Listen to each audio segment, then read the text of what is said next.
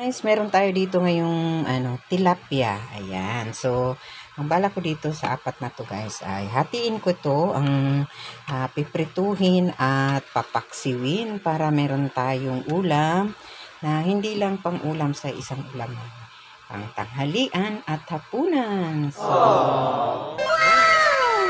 wow!